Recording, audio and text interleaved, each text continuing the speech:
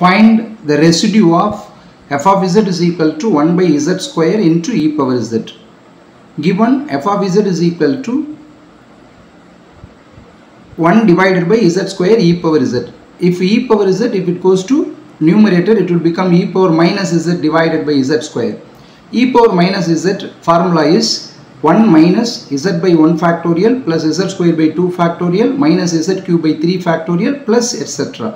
So f of z is equal to e power minus z divided by z square which is equal to 1 by z square into for e power minus z 1 minus z by 1 factorial plus z square by 2 factorial minus z cube by 3 factorial plus etc. 1 by z square you have to multiply in each term.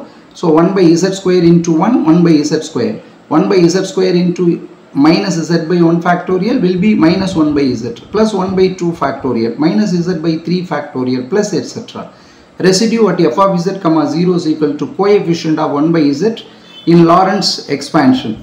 So residue at f of z comma 0 which is equal to the coefficient of 1 by z in Laurent's series expansion is 1 by z coefficient is minus 1